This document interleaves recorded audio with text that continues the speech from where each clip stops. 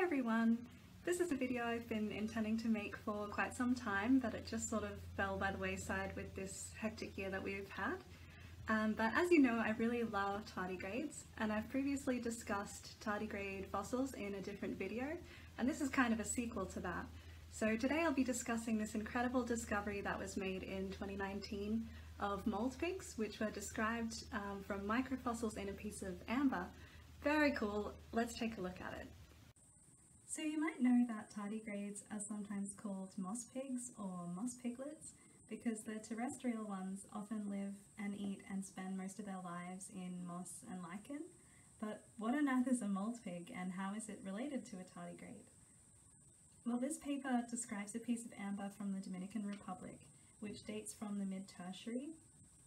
And the amber piece is only 12 by 8 by 3 millimeters, but it contains just an unbelievable amount of fossils, there were strands of fungi, there were nematodes, a pseudoscorpion, and protozoa, and then several hundred of these other tiny animals which were given the name Sialomorpha dominicana.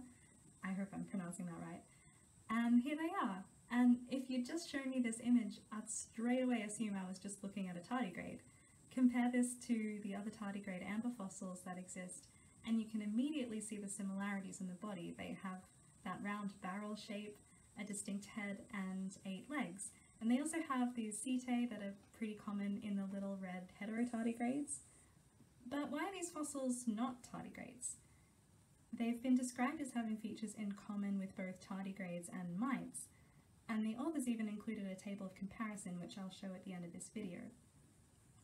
But let's take a, a, closer look at some images from this paper. So here we can start to see some differences from tardigrades. Uh, the head is a lot smaller and the last pair of legs isn't uh, right at the back like uh, in a tardigrade, although the legs in mold pigs are described as generally shorter and often directed backwards, so a little bit similar. But what's interesting is that all their legs lack claws and they end in discs, which can also have a stalk. Uh, so this is getting a bit strange. Marine tardigrades have a kind of uh, disc toes too, so that's sort of a bit similar to these mold pigs, but but different again. Uh, tardigrades generally have these beautiful claws that can be different lengths uh, or branch, and the claws are really useful in identifying the genus or species, but mold pigs don't have claws at all. So I wonder why that is. Uh, but now it gets even weirder. So here's a picture showing modified hind legs in a mold pig, and just what on earth? It looks a bit like a flea or something, and why does this one have completely different legs? Uh, the paper describes two female mold pigs which have these strange curved legs, but the purpose of them is unknown, and how they even form is unknown. Uh, you know, at what point in the life cycle, these kind of modified legs haven't been found in tardigrades or mites before. So for now, it's just a cool mystery. Uh, I think it's just super weird, and I hope we'll eventually find out more about these really strange legs and what they do. And the paper also describes that mold pigs have a pair of protrusible mandibles and palps. So this is different again from the tardigrade feeding apparatus, which involves stylets and a buccal tube and their cute little football pharyngeal bulb. Um, so that's different and uh, much more like mites, although uh, mites have chelicerative mouthparts, so the mold pigs are sort of different again. Um, but a bit more like tardigrades, mold pigs are omnivores, so it was found that they fed on fungi and other tiny invertebrates. So here's uh, another image from the paper. I just love this incredible fossil with an invertebrate actually in its mandibles. That's so cool. This piece of amber is just beyond imagining the amount and the quality of fossils in it.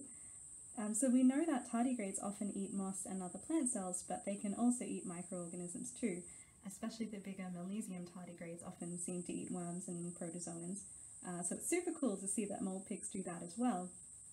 Although what's interesting is that a number of these fossils were feeding on fungus spores, so that seems to be their major food source, which is why they were given that common name mold pig. And just to show you that this piece of amber really does have everything in it, here's a mold pig that was caught in the act of doing a poop.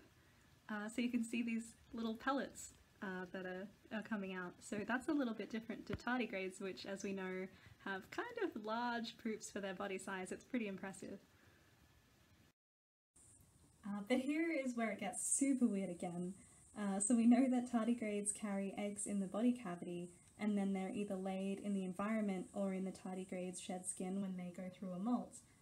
But in these mold pigs, the eggs hatch and then actually develop into embryos inside the body cavity. Uh, they seem to develop until they have six legs, and then the juveniles are found living on their own independently and also molting themselves, so just super cool. And what's also very interesting is that there don't seem to be any males, so the authors assume that they reproduce through parthenogenesis, which occurs in a lot of microscopic animals, including nematode worms and tardigrades, where a species can be female only, or there may just be very, very rare males compared to females. Um, but the fact that they only have three pairs of legs when they're in their early juvenile stage is similar to mites, although that's still apparently a rare pattern of development. And it's different to tardigrades, which always have eight legs. Um, from the moment they emerge from their eggs, they have eight legs.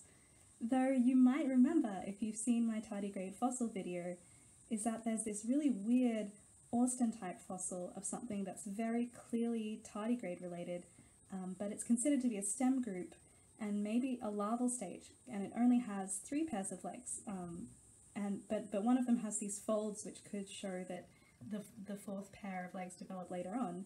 So I wonder where that might fit in uh, with these mold pigs. Where, where do they sit on the evolutionary tree? I'd love to find out more about that too. And here's the table that the authors included which compares the mold pigs to tardigrades and mites so we can see what they have in common and what's different. So it's interesting to note that mold pigs have different eye spots, their leg structure and segments, um, their brain lobes, and their reproductive opening is different as well. And then just one of the biggest mysteries of mold pigs is are they extinct? Uh, the amber obviously came from a rainforest environment and it contains uh, a pseudoscorpion and nematodes and other microscopic life forms which are still around today. So where are the mold pigs? They're just, they're so similar to tardigrades which are wildly successful animals that are found all over the world and in almost all environments. So are mold pigs just hyper specialized to a particular habitat are they so specialized that living examples of them have never been found? Or did they go extinct at some point? And if that's the case, how long were they around for and do they have descendants? And that's what I think is just so exciting about this discovery. It leaves us with even more questions about the mold pigs. So I'd like to thank the authors for their incredible study and I'd encourage you to check out the full article. I've added the title and link in the description below. So thanks for watching and see you next time.